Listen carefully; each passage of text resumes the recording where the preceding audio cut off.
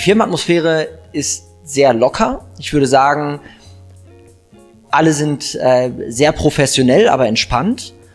Entscheidungen werden sehr rational, aber trotzdem mutig getroffen. Und das führt dann dazu, dass es sehr angenehm ist, aber trotzdem spannend bleibt. Aber wir haben keine Philosophie, die irgendwo aufgeschrieben ist und die wir versuchen, den Mitarbeitern irgendwie jetzt äh, ins Gebetsbuch zu schreiben. Aber ich glaube, wenn man ähm, sich die Unternehmenskultur ein bisschen angucken möchte, dann kriegt man einen guten Eindruck, wenn man schaut, wie wir miteinander arbeiten und wie wir arbeiten. Das Miteinander würde ich beschreiben als, dass wir ähm, offen, ehrlich äh, und respektvoll miteinander umgehen. Das heißt auch, dass man mal sagen kann, wenn einem etwas nicht gefällt. Ähm, aber im besten Falle direkt und unmittelbar und nicht erst irgendwie Monate später in einem Feedbackgespräch. Äh, die Art, wie wir arbeiten, würde ich mal mit äh, professionell pragmatisch bezeichnen. Das heißt, wir haben schon einen hohen Anspruch an die Qualität, die wir äh, abliefern wollen, aber doch auch immer mit einem pragmatischen Ansatz, dass wir jetzt eben nicht in irgendwelche Formalitäten. Das ist schon eine lange Zeit. Äh, trotzdem würde ich sagen, hat sich gar nicht so viel verändert, wie man vielleicht denken würde. Die Mitarbeiter sind immer noch extrem motiviert, glauben an das, was wir tun und die Projekte, die wir vorantreiben, sind super. Was man merkt, ist, dass wir ein ganzes Stück professioneller geworden sind. Als ich gestartet bin, waren wir unter 20 Mitarbeiter. Da hat jeder auch so ein bisschen alles machen müssen. Als Entwickler hat man dann schon die eine oder andere User-Anfrage beantwortet und die Designs für die Features, die man gebaut hat, zum größten Teil selbst gemacht. Dafür haben wir jetzt Leute, die richtige Spezialisten sind auf dem Gebiet. Und das sieht man dann auch im Produkt. Ich spreche nicht so gerne über Aufstiegsmöglichkeiten, weil sich das irgendwie äh, so ein bisschen nach, nach Kampf anhört, weil oben nicht Platz für, für alle ist. Deswegen äh, würde ich eher sprechen von, von Entwicklungsmöglichkeiten, weil die können wir allen Leuten anbieten. Ähm, und da versuchen wir natürlich breit gefächert Sachen anzubieten. Ähm, wir sprechen eigentlich von Anfang an mit den Mitarbeitern darüber, wo sie, wo sie hinwollen, um einen Weg zu finden, dass wir da gemeinsam hinkommen können. Ähm, und ähm, wir haben so, ja, also die meisten Entwicklungen sind eigentlich so drei verschiedene Wege, die man gehen kann. Dadurch, dass wir ein wachsendes Unternehmen sind, haben wir natürlich auch immer mal wieder die Möglichkeit, dass man eine Teamlead-Funktion übernehmen kann. Wenn das Team wächst, braucht es irgendwann jemanden, der da ein bisschen Führung nimmt. Das heißt, das haben wir immer wieder, dass Leute eine Teamlead-Position bekommen. Aber das ist natürlich auch nichts, was jeder machen kann oder auch nicht jeder machen möchte. Deswegen sprechen wir auch viel mit Leuten über ähm, Spezialisierung in ihrem Bereich. also entwickeln Leute dann zum Beispiel als, als Tech-Lead für ein spezielles Thema, dass sie da wirklich Ownership übernehmen können, sich da tiefer reinarbeiten können. Ähm, was wir aber auch mittlerweile viel haben, auch durch den Wachstum, den wir in der Firma haben, sind Leute, die innerhalb der Firma auch mal das Team wechseln und sagen, hey, ich möchte mal was ganz Neues machen, dass wir da auch immer wieder Möglichkeiten finden, dass man mal was ganz Neues ausprobieren kann. Äh, die Hierarchie, also wenn man jetzt mal äh, in Organisationsstrukturen denkt, dann versuchen wir das möglichst flach zu halten. Das wird natürlich jetzt bei mittlerweile 130 Mitarbeitern zunehmend schwieriger. Ähm, trotzdem sind wir, glaube ich, immer noch so, dass wir maximal drei Hierarchiestufen haben. Äh, da helfen uns aber auch Organisationsformen wie Squads zum Beispiel, die interdisziplinär bei uns aufgebaut sind.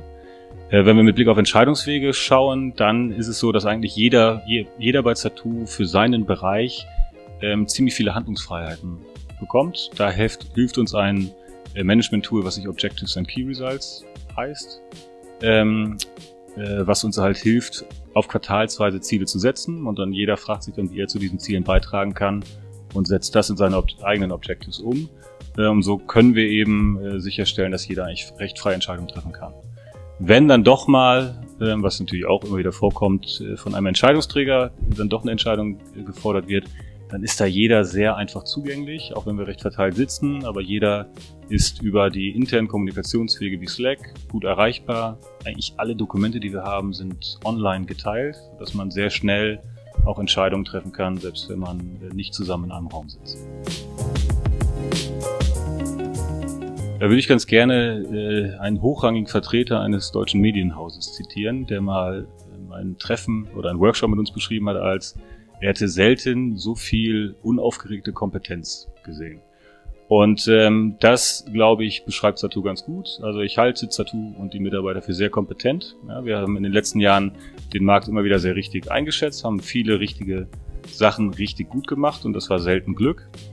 Und auf der anderen Seite halte ich uns aber auch für sehr unaufgeregt, weil wir zum einen wissen, dass Sachen manchmal lange brauchen und wir an strategischen, strategischen Stoßrichtungen, die wir uns gesetzt haben, auch länger festhalten und nicht auf Opportunitäten oder vermeintliche Opportunitäten ständig draufhüpfen. Ähm, sind aber auch unaufgeregt in dem Sinne, dass wir zwar ähm, mit Begeisterung das tun, was wir tun und auch sehr stolz sind auf das, was wir geschafft haben. Wir laufen aber draußen nicht rum mit stolz geschwellter Brult und äh, schmeißen irgendwelche Marketingparolen raus. Deswegen unaufgeregte Kompetenz, finde ich, äh, trifft ganz gut. Für mich, wenn die Leute zum Werbungsgespräch kommen, das Allerwichtigste ist Begeisterung. Also da achte ich drauf, dass Leute, die kommen, dass sie mir, mir, mich davon überzeugen können, dass sie von Satu begeistert sind. Ne? Also weil wir wollen hier Leute haben, die gerne zur Arbeit kommen, die, die Spaß an der Arbeit haben, die Spaß an dem Produkt haben.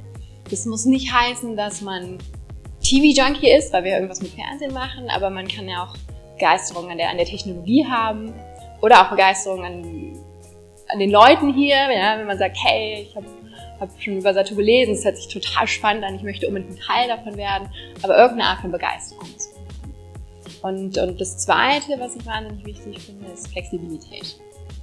Also wir, wir haben ja ein sehr flexibles Arbeitsumfeld, wir lassen den Leuten viele Freiräume, geben ihnen Flexibilität, aber damit muss man auch umgehen können. Ja, und das ist, ist nichts für jedermann. Manche Leute brauchen auch eher ein bisschen mehr klare Vorgaben und Linien. Ähm, und da achten wir natürlich auch drauf, dass es für die Leute passt, damit sie sich auch wohlfühlen. Also wir sehen ja heute, dass TV-Inhalte immer mehr übers Internet verbreitet werden. Wir selber gehen davon aus, dass in ein paar Jahren es nur wenige äh, TV-Plattformen geben wird, die multinational unter eigener Marke oder international auch als White-Label-Lösung TV-Inhalte verbreiten. Ähm, und da wollen wir einer von diesen Playern sein. Wir nennen das TV Hubs und wir haben das große Ziel, einer der TV Hubs in ein paar Jahren zu sein.